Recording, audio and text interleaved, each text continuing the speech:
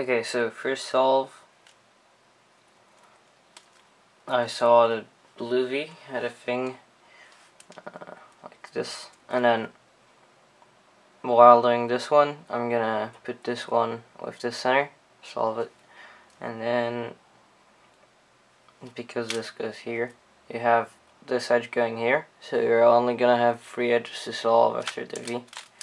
And I one looked to like I saw this one be facing my way, and then this one will be the same color as the center, so I knew that's the sledge.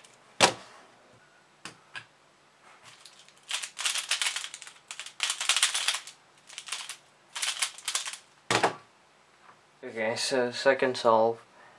Uh, I saw this edge for yellow V and then this one and I thought is gonna happen is that these two are gonna be flips.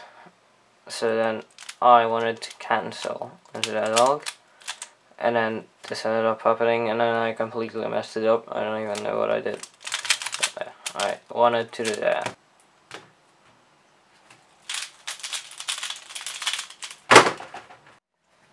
So for the third one,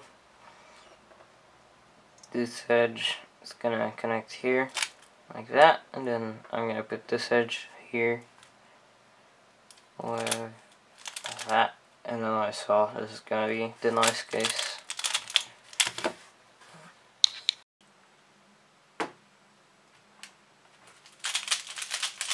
Yes. Okay, fourth solve. Mm -hmm. I saw there's a two move top like this and then normally with the normal hog you would get used to flipped. But I know the TK flip for this case which goes like well it's not from this side so I had to start from here. Like that and then you do this